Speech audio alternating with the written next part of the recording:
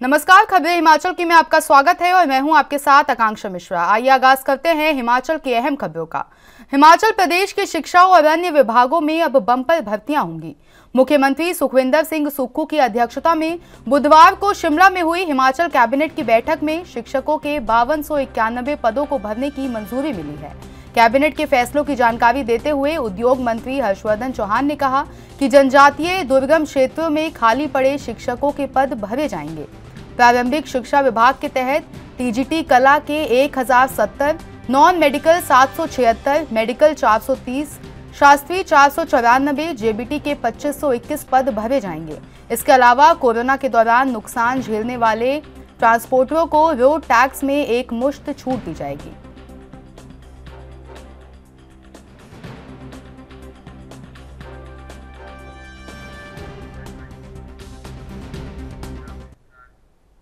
बागवानी मंत्री जगत नेगी ऑस्ट्रेलिया दौरे से लौट आए हैं। मीडिया से बातचीत में जगत नेगी ने बताया कि ऑस्ट्रेलिया से बागवानी के क्षेत्र में नई चीज़ें देखी हैं। उनको हिमाचल में लागू करने के लिए कदम उठाए जाएँगे।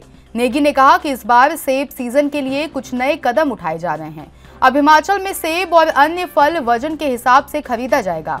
हिमाचल में भाँग की खेती को औषधीय गुणों और उद्योग के लिए उपयोग में लाने के लिए वैध करने की बात चल रही है। जिसके अध्ययन के लिए हिमाचल से उनकी अगुवाई में पाँच सदस्य टीम उत्तराखंड और मध्य प्रदेश में जा रही है। इससे हिमाचल को कितना फ़ायदा होगा?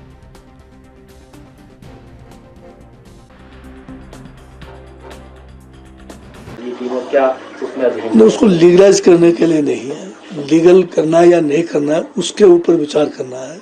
और उसका जो है ये कैनिबीज का जिसको मांग कहते हैं हम उसका फ़ायदा प्रदेश को हो सकता है या नहीं हो सकता है उसके लिए स्टेट जो है, के लिए हम उत्तराखंड जा रहे हैं। और उसमें हमारे जो है, काफ़ी, बहुत सारे हमारे एम एल सेवान हैं, उसमें मेंबर्स हैं। हमारे जो है जो है अपोजिशन के जो एम एल हैं पोजिशन के हैं, वो भी है उसमें। और हम जाके वहाँ पर, क्योंकि वहाँ इंडस्ट्री लेवल पे काम जो है उत्तराखंड में और मध्य प्रदेश में हो रहा है। तो वहाँ हम ये जानकारी लेंगे कि भी कितना इसका जो है इकनॉमी जो है, इससे स्टेट को हो सकता है। क्योंकि हिमाचल में बहुत सारे हमारे डिस्ट्रिक्ट्स हैं, जहाँ पर बांग जो है, जो जो है वाइल्ड में भी इसका पैदावार है और जो मेडिकल वैल्यू है, उसके लिए जो है आपको कंट्रोल एटमोसफेयर में, जैसे पॉली हाउसेस में करना है। तो ये सारा स्टडी करके हम जो है गवर्नमेंट को जल्द रिपोर्ट सौंपेंगे कि इसका फ़ायदा अगर हो रहा है तो इसको जो है, हिमाचल में भी जो है किया जाए, क्योंकि केंद्र का जो कानून है, उसमें बांग के लिए जो है, स्टेट को जो है पावर दिया हुआ है। स्टेट चाहे तो इसको जो है, लीगल रूप में इसकी जो है पैदावार या इसका जो है इंडस्ट्रियल फ़ायदा जो है, या मेडिकल मेडिसिनल फ़ायदा जो है, उसके लिए हिमाचल प्रदेश कांग्रेस के मुख्य प्रवक्ता प्रेम कौशल ने धर्मशाला में प्रेस वार्ता में कांगड़ा संसदीय क्षेत्र के सांसद का नाम लिए बिना कहा कि आँसू बहाकर जिस नेता ने टिकट लिया, चुनाव जीते विधायक बने, फिर मंत्री पद मिला। बाद में उन्हें सांसद बनाकर लोकसभा भेजा गया। वहीं हमीरपुर संसदीय क्षेत्र के सांसद अनुराग ठाकुर ने सीयू रेल समेत अन्य वादे किए, लेकिन चार साल तक संसदीय क्षेत्र की जनता को भूल गए। अब चुनाव सामने देखकर दोनों सांसद चिंतित होकर जनता के बीच दिखने लगे हैं।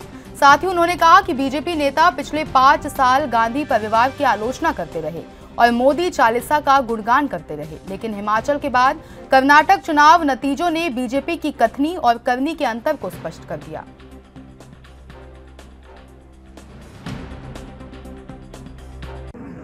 एक तो मेरा इशू है, हिमाचल में जो आर्थिक स्थिति है, पिछली सरकार ने जो आर्थिक बदहाली हिमाचल प्रदेश की की है और जो जिस आर्थिक हालात में हिमाचल प्रदेश को छोड़ा है, उसके ऊपर मैंने चर्चा की है और मेरा इसमें विषय ये था कि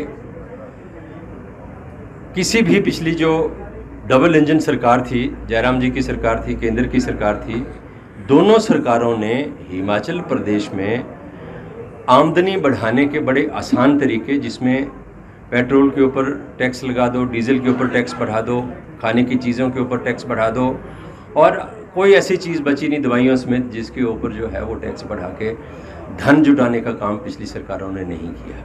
लेकिन किसी भी सरकार ने ये नहीं सोचा, जो पीछे न केंद्र की, न प्रदेश की, कि लोगों के ऊपर बोझ डाले बिना हम प्रदेश में जो धन है उसको कैसे जुटा सकते हैं, प्रदेश की आर्थिक स्थिति जो है उसको कैसे मज़बूत किया जा सकता है। मुख्यमंत्री ठाकुर सुखविंदर सिंह सुक्खू जी ने सत्ता में आने के बाद कांग्रेस पार्टी की सरकार ने इस विषय के ऊपर विचार किया और वाटर सेस जो हमारे पावर प्रोजेक्ट्स हैं, उनके ऊपर लगाने का निर्णय लिया है, जिससे लगभग चार हज़ार करोड़ रुपये जो है, वो आमदन जो है, वो होने की उम्मीद है। लेकिन ये विधानसभा में भी पास हो गया, गवर्नर महोदय ने भी इसके ऊपर हिमाचल प्रदेश के शिमला तयबजावी यूनियन ने सीटू के बैनर तले महापौर सुरेंद्र चौहान को ज्ञापन सौंपा है। यूनियन का कहना है कि तयब बजावियों को बसाने के लिए आजीविका भवन बनाया गया है, लेकिन उसमें तय बजावियों के अलावा भी अन्य लोगों को दुकानें दी गई हैं। इसके अलावा ज्ञापन के द्वारा महापौर को तय बाजारियों की अन्य समस्याओं से अवगत कराया गया है। सीटू अध्यक्ष विजेंद्र मेहरा ने बताया कि आजीविका भवन का निर्माण तय बाजारियों के लिए किया गया था, लेकिन वहाँ पर अन्य लोगों को भी दुकानें अलॉट कर दी गई हैं। महापौर को ज्ञापन देकर इस पर कार्रवाई करने की मांग की गई है। महापौर ने इस पर सकारात्मकता के साथ जल्द हल करने का आश्वासन दिया है।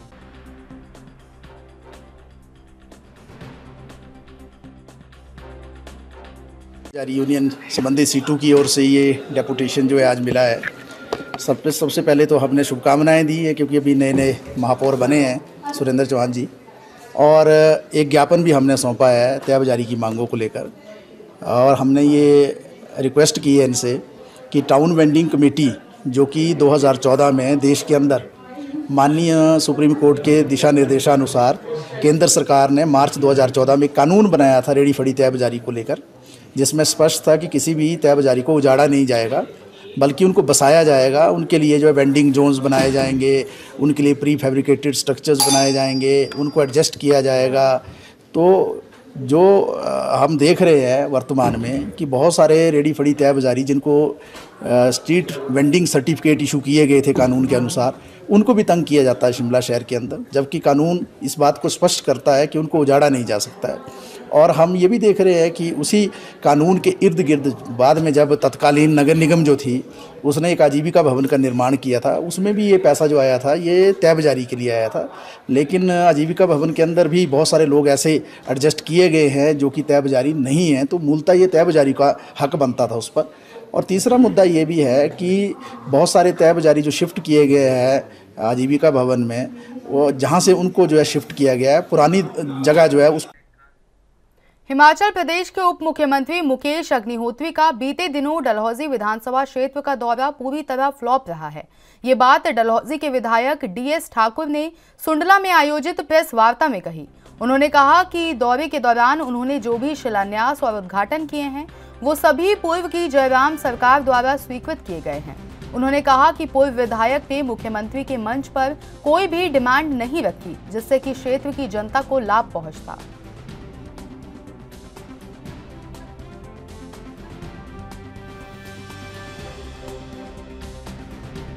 मुख्यमंत्री जी का डलोजी कंस्टिट्यूंसी का भी पीछे दौरा हुआ, वो पूरी तरह फ्लोप रहा। जो उन्होंने उद्घाटन और शिलान्यास किए वो पूर्व में जयराम की सरकार ने उसकी धनराशि स्वीकृत की थी। जो सलोनी की बड़ी पेयजल योजना का उद्घाटन हुआ छतालीस करोड़ रुपये इसकी स्वीकृति जयराम सरकार ने दी थी। और लोग अपने आप को ठगा सा महसूस कर रहे हैं। जो कांग्रेस की पूर्व में विधायिका रही हैं, उन्होंने इस विधानसभा क्षेत्र के लिए कोई नई मांग नहीं उप मुख्यमंत्री के समक्ष रखी, जो उन्होंने दस लाख के आइडिया दिए थे युवाओं साथियों के लिए। वो कोई भी आइडिया एक भी आइडिया उस कार्यक्रम में कहीं नज़र नहीं आया। क्योंकि पर्यटन की दृष्टि से हमारा सलूनी का एरिया काफ़ी विकसित हो सकता है डलौजी पर्यटन नगरी है तो युवाओं को रोज़गार के साधन भी मिल सकते थे। और दूसरा, जो हमारी सरकार का टाइम में दर्जनों संस्थान डलहौजी कंस्टिट्यूंसी में डी नोटिफाई किए हैं। वो जनता की कोई भी मांग को उस स्टेज पे नहीं रखा गया। लोक निर्माण विभाग मंत्री का दौरा डलहौजी कंस्टिट्यूंसी का आ गया है, जिसमें वो एक रेस्ट हाउस का उद्घाटन करेंगे भले के साथ। उसके जो पैसा और जो वो रेस्ट हाउस जो बिलासपुर जिला में पहली बार सज रहे राज्य स्तरीय नाट्य उत्सव में रंगमंच के ज़रिए कलाकार अपनी प्रतिभा का लोहा मनवाएँगे अभी तक शिमला और कुल्लू सहित अन्य जिलों में ही इस तरह के आयोजन होते थे। लेकिन ये सौभाग्य इस बार बिलासपुर को मिला है। भाषा और संस्कृति विभाग बिलासपुर के सौजन्य से 23 से लेकर 27 मई तक बहुउद्देशीय सांस्कृतिक परिसर में ये नाट्य उत्सव सजेगा, जिसमें प्रदेश भर के जिलों से कलाकार अपने जिलों से संबंधित फोक और मॉडर्न थिएटर के तहत नाटक पेश कर जनता का मनोरंजन करेंगे। हर दिन नाट्य मंचन दो घंटे की अवधि का होगा। नाट्य उत्सव के भव्य आयोजन को लेकर विभाग ने तैयारियाँ शुरू कर दी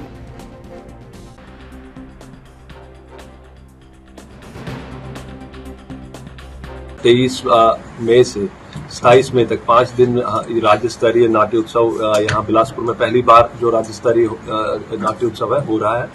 हम हमें बड़ी खुशी हो रही है ये ऑर्गेनाइज करने की।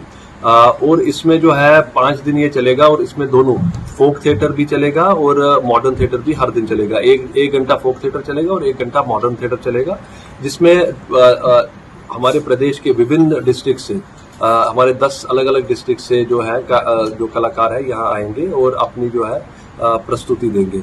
इसमें हमारे जो प्रसिद्ध हैं जैसे हरनात्रा है बरमोर का होरिंग फो किन्नौर का सिंटू आपका सिरमौर का। आ, ये तो मेन अट्रैक्शंस रहेंगी कि जो जो ऑलरेडी प्रसिद्ध है और जिनको देखने लोग दूर दूर से आते हैं। तो मेरी यहाँ सभी कला प्रेमियों से आ, और सभी पेरेंट्स से बच्चों से अपील है क्योंकि आजकल हमारे जो है डिजिटल जमाना हो गया है सारा कुछ हम फ़ोन पर देखते हैं। और अपना टाइम या तो टीवी या तो मोबाइल या तो नेटफ्लिक्स या यूट्यूब पर हम व्यतीत करते हैं तो हम इस फोक थिएटर और थिएटर से नॉर्मली जनरल थिएटर से भी हम दूर होते जा रहे हैं। तो ये एक हमारे पास बिलासपुर के लोगों के पास एक अच्छा मौका है कि वो अपने बच्चों को अप, के साथ आए फैमिलीज़ के साथ आए और ये ये जो है हमारा थिएटर देखे पाँच दिन का कार्यक्रम होगा बड़ा अच्छा कार्यक्रम होगा बड़े अच्छे से ऑर्गेनाइज हम कर रहे हैं। तो सभी लोग एंजॉय करेंगे। तो मेरी बस सबसे अपील है कि वो ज़्यादा से ज़्यादा लोग इस कार्यक्रम में, इस इस प्रदर्शनी हिमाचल प्रदेश के नालागढ़ पुलिस ने अवैध खनन करने वालों के खिलाफ सख्त होती नज़र आ रही है। पुलिस को लगातार शिकायतें मिल रही थी कि नालागढ़ क्षेत्र में अवैध खनन लगातार बढ़ रहा है, जिसके चलते पुलिस ने अलग अलग टीमें बनाई हैं, जिसके चलते पुलिस ने देर रात टीम के साथ नालागढ़ क्षेत्र की अलग अलग नदियों में अवैध खनन कर रही चार जेसीबी और दो टिप्पर हिरासत में लिए। डीएसपी नालागढ़ फिरोज खान ने जानकारी देते हुए बताया कि पुलिस को लगातार शिकायतें मिल रही थी कि नालागढ़ क्षेत्र में लगातार अवैध खनन हो रहा है, जिसके तहत पुलिस ने टीम का गठन किया, जिसके चलते दबोटा नदी, अंदरौला नदी में दबिश दी, जहाँ से उन्होंने चार जेसीबी और दो टिपर हिरासत में लिए हैं, जिन पर माइनिंग एक्ट में कार्रवाई की जा रही है।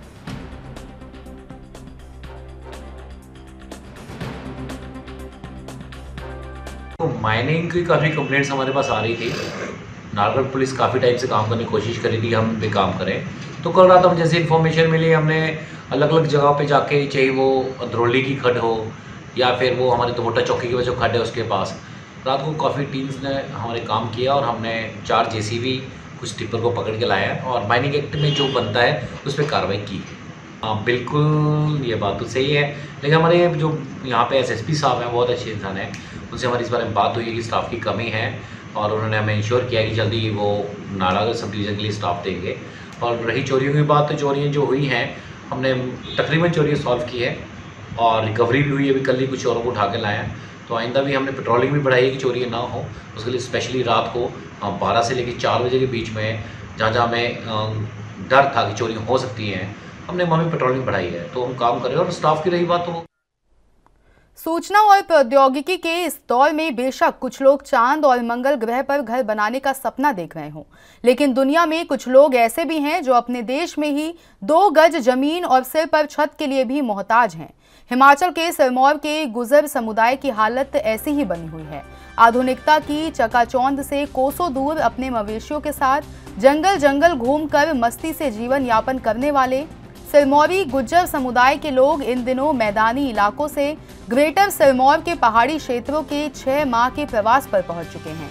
गिरिपार क्षेत्र के अंतर्गत आने वाले उपमंडल संगडा, राजगढ़ और शिलाई के पहाड़ी जंगलों में सदियों से अप्रैल और मई महीने में उक्त समुदाय के लोग अपनी भैंस, गाय, बकरी और भारवाहक बैल और मवेशियों के साथ गर्मियाँ बिताने पहुँचते हैं।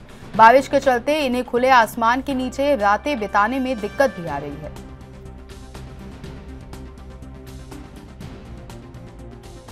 पड़ती है, कुछ खरीद करनी पड़ती है। पशुओं का चारा बहुत कम है, मिलता नहीं। बस ऐसे ही गुजारा करते हैं। और भूखे भी रह जाते रास्ते में कई बार। और बस ऐसे चलते फिरते गुजारा करते हैं। हम पोमटा साहब जेठ के महीने में चलते हैं ऊपर चूड़दार की तरफ़ के लिए। जगह जगह में ठहरते जाते हैं और फिर ऊपर ठंड के इलाके में जाते हैं। जब ठंड पड़ जाती है तो हम नीचे गर्म इलाके में जाते हैं। ऐसे हम नदियों में बसर करते हैं। दूध बेचते हैं और अपने बच्चों को और वहाँ पर जो है, हमारे जो है, हर वोट कार्ड हैं, आधार कार्ड वगैरह, राशन कार्ड वगैरह, हर चीज़ें जो है हमारे को वहाँ पर है। और हम हिमाचल प्रदेश सरकार से एक ही मांग रखते हैं कि हमको कहीं ऐसी जगह दी जाए कि हम भी अपने बच्चों को अच्छी तरह से तालीम दे सकें। और हमारे जो है, जब हम रास्ते में चलते हैं, हमारे लिए बहुत परेशानी होती है। रहने के लिए तरपाल नहीं है, कहीं अगर धूप आ जाए तो उसके लिए शावा नहीं है और कहीं भी रास्ते में पानी हमारे पशुपालन को भी नहीं मिलता है, हम एक मांग कर रहे हैं, केंद्र सरकार से भी और हिमाचल सरकार से भी हमको रहने के लिए, सब घूमतू गुजरों के लिए कि हमारे को कहीं ना कहीं ऐसी जगह दी जाए हमारा पशुपालन भी अच्छा हो जाए और हमारा रहना भी अच्छा हो जाए और हमारे बच्चों को शिक्षा और तालीम भी अच्छी मिल जाए। हम यही मांग साल के ऐसे बसर करते हैं? छः महीने पोटा साई में, दो महीने हमारे नीचे ऊपर लग जाते हैं और चार महीने हम चूरधार के जंगलों में गुजारते हैं। हम ऐसे ही अपना टाइम पास करते हैं, बीस किलोमीटर चलने के बाद रुक जाते हैं और अब तो पशुओं के लिए चारा भी नहीं है। इसके लिए हमारे उत्तर हिमाचल सरकार हमारे के लिए एक बैठने के लिए बढ़िया जगह दे दे। अब तक हमारी कई पीढ़ें गुजर गई है, अभी तक हमारे को कहीं जगह नहीं मिली बैठने के लिए। यही माँगता है हमारी कि हमारे को कहीं बैठा दे। बढ़िया, हम अपने बच्चों को पढ़ाई और अक्सर आपने देखा होगा कि नाचते, खेलते, हँसते, कूदते लोगों की जान चली जाती है। इससे पहले कि कोई कुछ समझ पाए, मौत हो जाती है। अचानक से हार्ट अटैक के ऐसे मामले लगातार सामने आ रहे हैं। हिमाचल प्रदेश में भी ऐसा ही एक मामला सामने आया है। पूरा वाक्य वीडियो में कैद हुआ है। दोस्ती की शादी में नाचते हुए एक युवक की मौत हो गई। घटना के बाद से शादी की खुशियाँ मातम में बदल गईं। जानकारी के अनुसार सूबे के सिरमौर ज़िले से ये चौंकाने वाली घटना सामने आई है, जिसे देखकर लोगों के रोंगटे खड़े हो गए हैं। सिरमौर ज़िले के पावटा साहिब के अबोया में एक शादी समारोह में नाचते नाचते युवक की मौत हो गई। युवक एकदम धड़ाम से नीचे गिरा। मौके पर मौजूद लोगों ने तुरंत हॉस्पिटल पहुँचाया, लेकिन युवक ने दम तोड़ दिया था।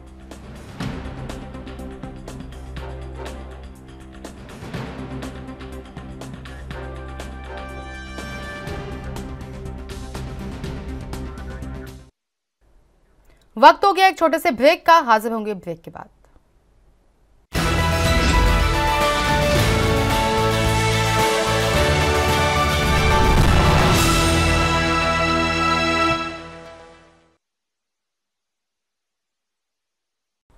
एक बार फिर हाजिर में ब्रेक के बाद बढ़ते हैं कुछ राष्ट्रीय खबरों की ओर।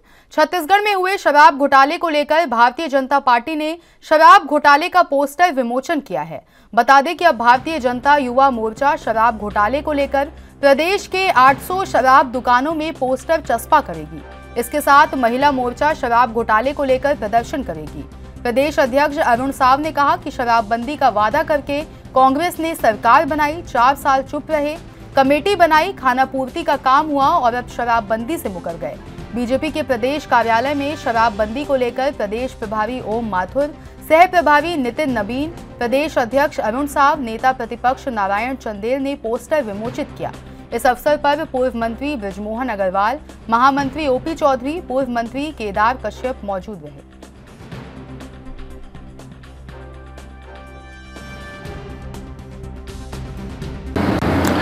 कोरोना काल में भी राज्य की सरकार ने, कांग्रेस की सरकार ने किस प्रकार से शराब की सप्लाई की, आप सबको पता है।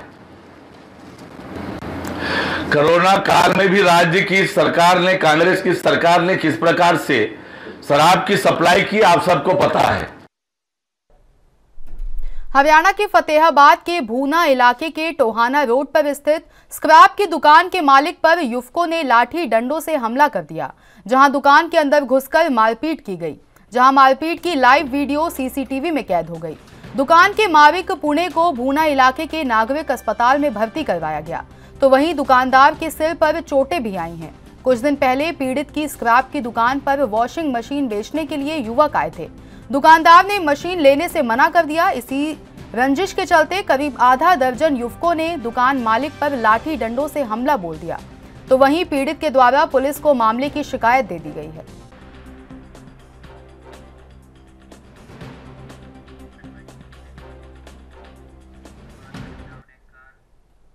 हरियाणा के अंबाला में तंबाकू कंट्रोल प्रोग्राम के तहत स्वास्थ्य विभाग द्वारा शैक्षणिक संस्थानों के 100 गज के घेरे के भीतर तंबाकू उत्पाद बेचना, प्रस्तुत करना और संस्थान के बाहर अधिनियम अनुसार चेतावनी बोर्ड न लगे होने को लेकर कार्रवाई की गई।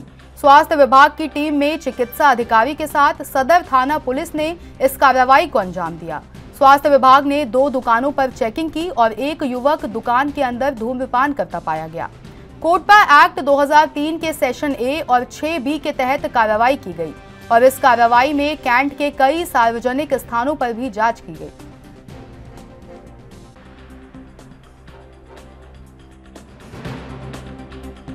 पीएमओ सर ने बुलाकर एक ड्यूटी दी कि भाई जितने भी यहाँ पर स्कूलों के आसपास तम्बाकू बेचे जाते हैं, उनके छापा लगा मारना है उनके ऊपर और उनको इंस्ट्रक्शन दे के आनी है कि भाई ये यहाँ पर तम्बाकू बेचना बंद करें। क्योंकि ये सीएमओ साहब के हमारे ऑर्डर हैं। उन्होंने लेटर में मेरे को मार्क किया था। हमारे nodal officer doctor Sanjeev Sharma जिनका आज कोर्ट एविडेंस था वो आज नहीं जा पाए। मैं गया था और मेरे साथ आ, मिस्टर जतिन हैं और मिस्टर अशोक हैं। ये हम टीम लेके गए थे। थाना सदर से हम पुलिस की टीम भी आई थी, हम सभी गए थे। हमने कई सारी दुकानों को आज वार्निंग देकर आए हैं, जो भी शिक्षण संस्थानों के पास थी। और हमने बस स्टैंड पे भी हम गए थे। बस स्टैंड पे भी हमने बहुत सारे लोगों को वार्निंग दी। उनके ऑफिसर जो मिस्टर अजीत हैं, उनको बोलकर आए कि भी किसी भी तरह कोई केस हो, हमें बताएँ। और हम इसको बिल्कुल कंट्रोल करना चाहते हैं। यहाँ पर ऐसे संस्थानों पर कोई सिगरेट बीड़ी ना पिए। और लोग स्वस्थ रहे। इस बुलेटिन में फ़िलहाल के लिए इतना ही। देश की तमाम बड़ी खबरों के लिए बने रहिए हमारे साथ और देखते रहिए एएनबी न्यूज़